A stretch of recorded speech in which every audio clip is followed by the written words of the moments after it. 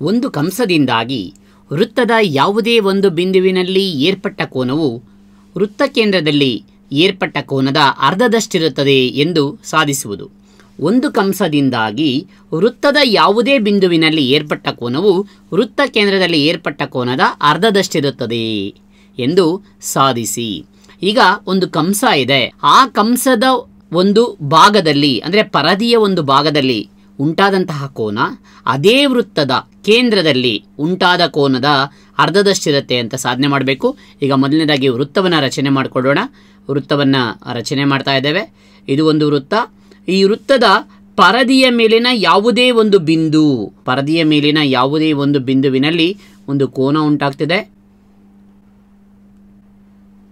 ಇಲ್ಲಿ ಉಂಟಾಗಿರ್ತಕ್ಕಂಥ ಕೋನ, ಈ ಒಂದು ಪರದಿಯ ಯಾವುದೇ ಒಂದು ಬಿಂದು, ಪಿ ಬಿಂದುವಿನಲ್ಲಿ ಉಂಟಾದಂತಹ ಕೋನ ಯಾವ ಒಂದು ಕಂಸ, ನೋಡಿ, ಈ ಕಂಸದ ಒಂದು ಕೋನಕ್ಕೆ ಸಮನಾಗಿರುತ್ತೆ. ಅಂದ್ರೆ ಈ ಭಾಗದಲ್ಲಿ, ಈ ಒಂದು ಕಂಸ, ಅಂದ್ರೆ ಒಂದು ಕಂಸದಿಂದಾಗಿ, ಇದು ಒಂದು ಕಂಸ, ಈ ಕಂಸದಿಂದಾಗಿ ವೃತ್ತದ ಯಾವುದೇ ಒಂದು ಬಿಂದುವಿನಲ್ಲಿ ಏರ್ಪಟ್ಟ ಕೋನ, ಅದೇನಾಗತ್ತೆ? ವೃತ್ತ ಕೇಂದ್ರ, ನೋಡಿ, ಇದು ವೃತ್ತ ಕೇಂದ್ರ ಅಂತ ತೆಗೆದುಕೊಂಡ್ರೆ, ಈ ವೃತ್ತ ಕೇಂದ್ರದಲ್ಲಿ ಏರ್ಪಟ್ಟ ಕೋನ, ಇಲ್ಲಿ, ಅಂದ್ರೆ ಕೇಂದ್ರ ಕೋನ, ವೃತ್ತ ಕೇಂದ್ರದಲ್ಲಿ ಏರ್ಪಟ್ಟ ಕೋನ ಕೇಂದ್ರ ಕೋನ. ಈಗ ಕೇಂದ್ರ ಕೋನವನ್ನು ರಚನೆ ಮಾಡೋಣ. ಕೇಂದ್ರ ಕೋನ, ಕೇಂದ್ರ ಕೋನದ ಅರ್ಧದಷ್ಟಿರುತ್ತದೆ. ಇಲ್ಲಿ ಕೇಂದ್ರ ಕೋನ ಉಂಟಾಗ್ತಿದೆ.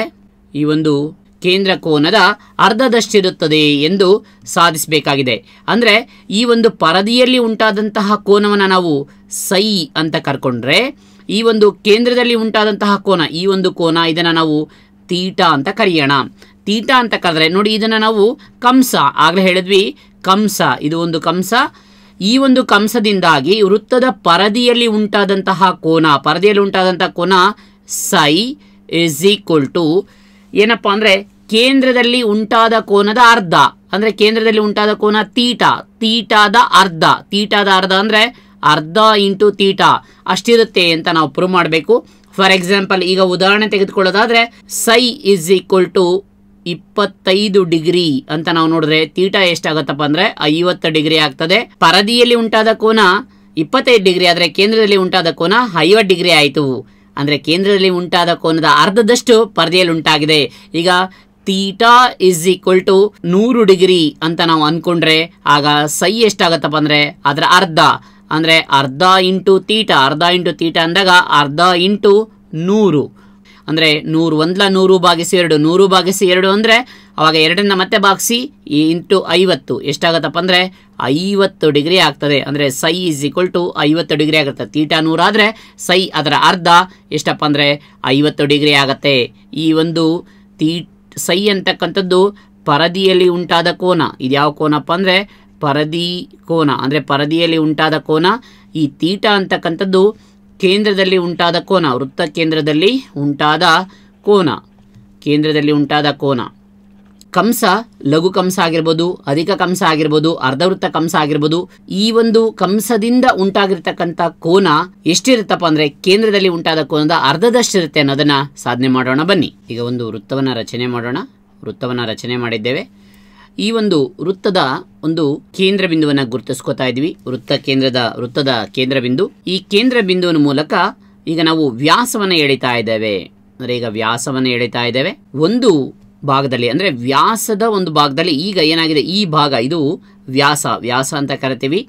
ಈ ಒಂದು ವ್ಯಾಸ ಈ ಭಾಗದಿಂದ ಒಂದು ಕೋನ ಉಂಟಾಗಿದೆ. ಅಂದ್ರೆ ಈ ಒಂದು ಭಾಗದಲ್ಲಿ ಒಂದು ಕೋನ ಉಂಟಾಗಿದೆ. ಅದನ್ನ ನಾವು ಸೈ ಅಂತ ಕರೆಯೋಣ. ಆ ಉಂಟಾಗಿರ್ತಕ್ಕಂಥ ಕೋನ ಸೈ ಆಗಿರಲಿ. ಈಗ ನಾವು ಈ ಒಂದು ಭಾಗ ಏನಿದೆ? ಈ ಭಾಗದಿಂದ ಉಂಟಾಗಿರತಕ್ಕಂಥ ಕೋನ, ಪರದಿಯ ಈ ಭಾಗದಲ್ಲಿ ಉಂಟಾಗಿರ್ತಕ್ಕಂಥ ಕೋನ, ಅಂದರೆ ಪರದಿಯ ಈ ಭಾಗದ ಒಂದು ಕಂಸ, ಈ ಒಂದು ಕಂಸದಿಂದ ಉಂಟಾಗಿರ್ತಕ್ಕಂಥ ಕೋನ ಎಷ್ಟಿದೆಯಪ್ಪ ಅಂತ ನಾವು ಪ್ರೂವ್ ಮಾಡೋದಾದರೆ, ಈಗ ಮತ್ತೊಂದು ಇದನ್ನು ಎಳೆಯೋಣ ಇಲ್ಲಿ. ಎಷ್ಟು ಬರುತ್ತೆ ಅಂತ ನೋಡೋಣ. ಇದನ್ನು ಇದನ್ನು ಸೇರಿಸಿ. ನಮಗೆ ಗೊತ್ತಿದೆ, ಇದು ಇದು ರೇಡಿಯಸ್. ಇವೆರಡು ಸಮ. ಅಂದರೆ ಇದು ಸಹ ಆರ್, ಇದು ಸಹ ಆರ್, ಇದು ಸಹ ಆರ್. ರೇಡಿಯಸ್.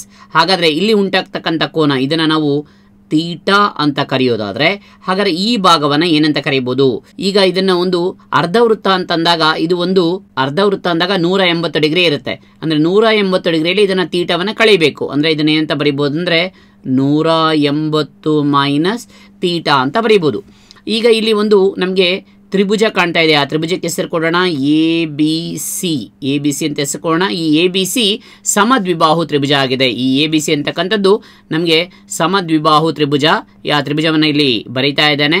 ನೋಡಿ, ಇದೊಂದು ಸಮದ್ವಿಬಾಹು ತ್ರಿಭುಜ ಅಂತ ನಾವು ಕನ್ಸಿಡರ್ ಮಾಡೋದಾದ್ರೆ, ಇದನ್ನ ಒಂದು ಭಾಗನ, ಅಂದ್ರೆ ಸಮದ್ವಿಬಾಹು ಈ ಬಾಹು ಈ ಬಾಹು ಸಮ ಅಂತ ನಾವು ನೋಡೋದಾದ್ರೆ, ಈ ಒಂದು ಭಾಗದಲ್ಲಿ, ಈ ಭಾಗದ ಒಂದು ಇದನ್ನ ನಾವು ಸೈ ಅಂತಕ್ಕಂದ್ರೆ ಈ ಭಾಗದ ಇದು ಸಹ ನಮ್ಗೆ ಏನಾಗುತ್ತೆ ಸೈ ಆಗುತ್ತೆ. ಯಾಕಂದ್ರೆ ಸಮಬಾಹುಗೆ ಅಭಿಮುಖವಾದ ಕೋನಗಳು ಸಹ ಸಮನಾಗಿರುತ್ತೆ. ಹಾಗಾದ್ರೆ ಇದು ಸೈ ಆದಾಗ ಇದು ಸಹ ಏನಾಗ್ತದೆ?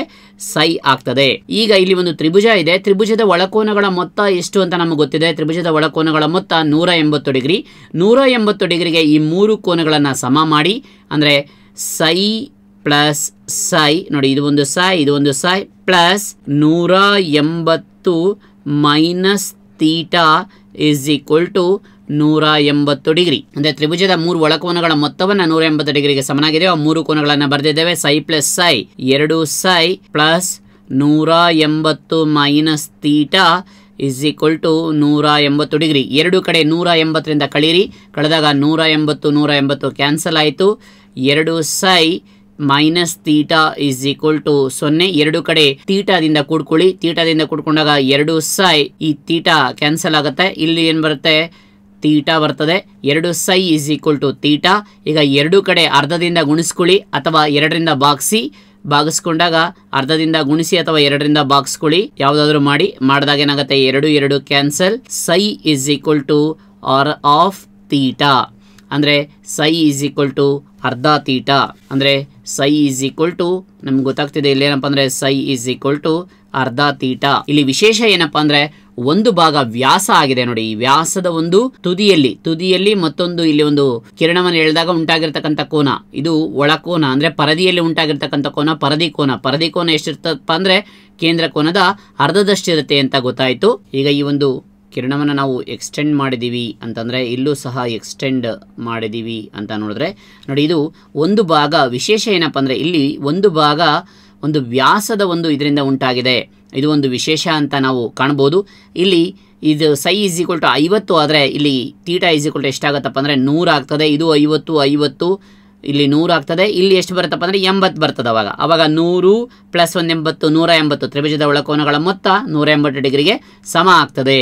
ಈಗ ಇದನ್ನು ಜನರಲೈಸ್ ಆಗಿ ಜನರಲೈಸ್ ಆಗಿ ಇದು ಮಾಡ್ಕೊಳ್ಳೋಣ. ಈಗ ವೃತ್ತ ಕೇಂದ್ರ ಎರಡು ಇವುಗಳ ನಡುವೆ ಬಂದಾಗ ಆವಾಗ ನಾವು ಕೋನ ರಚನೆ ಮಾಡಿ, ಅಲ್ಲಿ, ಅಲ್ಲಿನ ಒಂದು ಇದಕ್ಕೂ ಸಹ ಸೇಮ್ ಇದೆಯಾ ಅಂತ ನಾವು ಚೆಕ್ ಮಾಡ್ಕೊಳ್ಳೋಣ. ಈಗ ಮೊದಲಿಗೆ ವೃತ್ತವನ್ನು ರಚನೆ ಮಾಡೋಣ. ವೃತ್ತವನ್ನು ರಚನೆ ಮಾಡ್ತಾ ಇದ್ದೀವಿ. ವೃತ್ತವನ್ನು ರಚನೆ ಮಾಡಿದ್ವಿ. ಇದು ವೃತ್ತ ಕೇಂದ್ರ.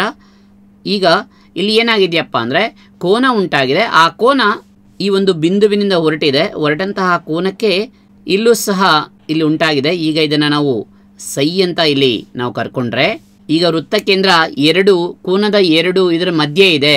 ಪರದೆಯಲ್ಲಿ ಉಂಟಾದಂತಹ ಕೋನ ಕೇಂದ್ರದಲ್ಲಿ ಉಂಟಾದ ಕೋನದ ಅರ್ಧದಷ್ಟೇ ಇದೆಯಾ ಅಂತ ನಾವು ಒಂದ್ಸರಿ ಚೆಕ್ ಮಾಡ್ಕೊಳ್ಳೋಣ. ಚೆಕ್ ಮಾಡ್ಕೊಳ್ಳೋದಕ್ಕೋಸ್ಕರ ಇಲ್ಲಿ ಒಂದು ನಾವು ರಚನೆಯನ್ನ ಮಾಡ್ಕೊಳ್ಳೋಣ. ಮೊದಲನೇದಾಗಿ ರಚನೆ ಮಾಡ್ತಾ ಇದ್ದೇವೆ.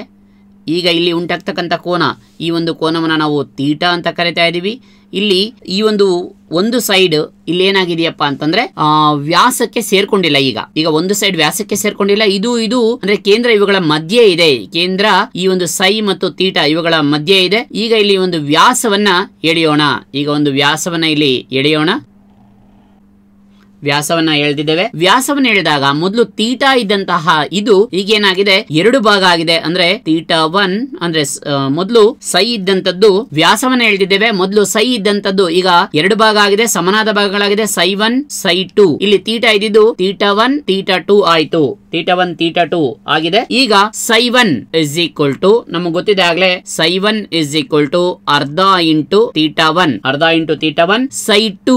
Psi two is equal to ಅರ್ಧ into theta two psi two is equal to ಅರ್ಧ ಇಂಟು ತೀಟಾ ಟು, ಈಗಾಗಲೇ ನಮಗೆ ಇದ್ರ ಬಗ್ಗೆ ಗೊತ್ತಿದೆ. ಈಗ ಇದನ್ನ ಆಡ್ ಮಾಡಿ psi one plus psi two add ಮಾಡಿ. Psi one plus psi two is equal to ಇವೆರಡನ್ನು ಅರ್ಧ ಇಂಟು ತೀಟಾ ಒನ್ ಪ್ಲಸ್ ಅರ್ಧ ಇಂಟು ತೀಟಾ ಟು ಅವಾಗ psi one plus psi two ಇದನ್ನ ಟೋಟಲ್ ಆಗಿ ನಾವು ಎಂತ ಕರಿತೀವಿ ಅಂದ್ರೆ ಮೊದಲನೇದಾಗಿ ಇದು ಸೈ ಆಗಿತ್ತು, ಅದರಿಂದ ಇದನ್ನ ಸೈ ಅಂತ ಬರ್ಕೊಳ್ಳೋಣ.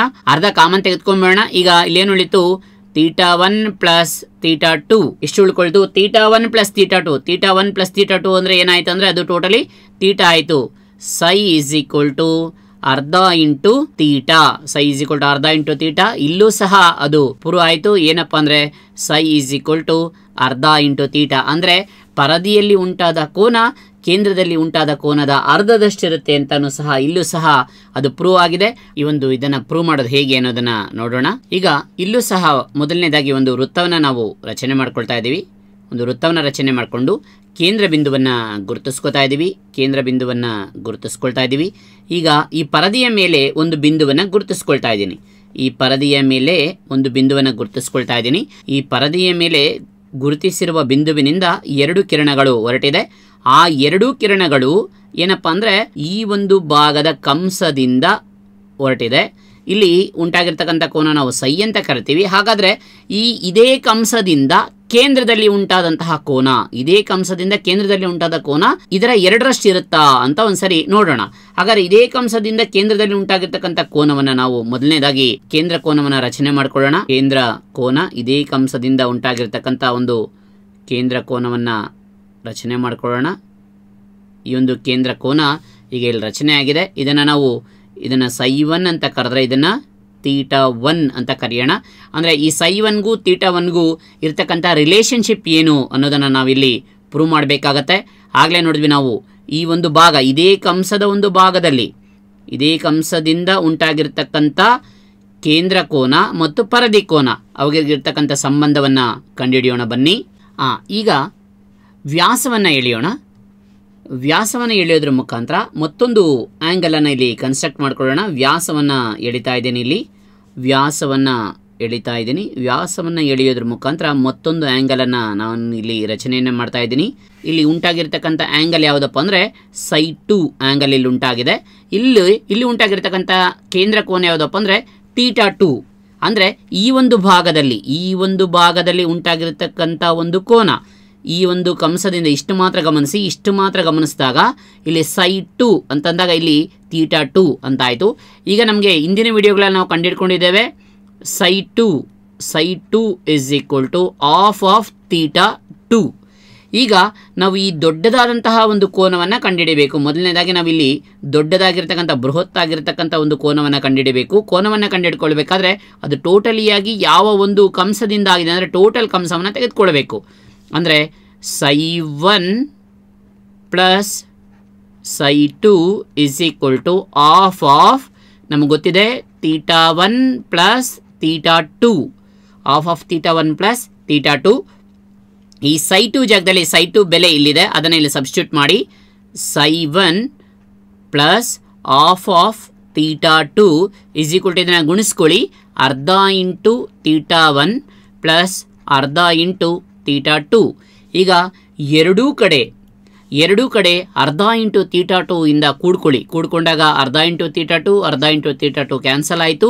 ಈಗ ಉಳಿದಿದ್ದೇನಪ್ಪ ಅಂದರೆ psi one is equal to ಅರ್ಧ ಇಂಟು ತೀಟಾ ಒನ್ ಇಲ್ಲಿ ನಮಗೆ ಗೊತ್ತಾಯ್ತು ಇಲ್ಲಿ. ಈಗಾಗಲೇ ಭಾಳಷ್ಟು ಇದರಲ್ಲಿ ನಾವು ಮೂರ್ನಾಲ್ಕು ಇದರಲ್ಲಿ ತಿಳ್ಕೊಂಡಿದ್ದೇವೆ. ಏನಪ್ಪ ಅಂದರೆ, ಒಂದು ಕಂಸದಿಂದಾಗಿ, ನೋಡಿ ಈ ಒಂದು ಕಂಸದಿಂದಾಗಿ ವೃತ್ತದ ಯಾವ ಪರದಿಯ ಯಾವುದೇ ಒಂದು ಬಿಂದುವಿನಲ್ಲಿ ಏರ್ಪಟ್ಟಂತಹ ಕೋನ ಕೇಂದ್ರದಲ್ಲಿ ಏರ್ಪಟ್ಟ ಕೋನದ ಅರ್ಧದಷ್ಟಿರುತ್ತದೆ. ಅಂದರೆ psi one is equal to half theta one psi is equal to half theta ಅಂತ ನಾವೀಗ ಪ್ರೂವ್ ಮಾಡಿದ್ದೇವೆ. ಅದರಿಂದ ಮಿತ್ರರೇ, ನಾವು ತಿಳ್ಕೊಳ್ಬೇಕಾದ ಏನಪ್ಪ ಅಂದರೆ ವೃತ್ತ ಕಂಸದಿಂದ ವೃತ್ತದ ಯಾವುದೇ ಬಿಂದುವಿನಲ್ಲಿ ಏರ್ಪಟ್ಟ ಕೋನವು ವೃತ್ತ ಕೇಂದ್ರದಲ್ಲಿ ಏರ್ಪಟ್ಟ ಕೋನದ ಅರ್ಧದಷ್ಟಿರುತ್ತದೆ.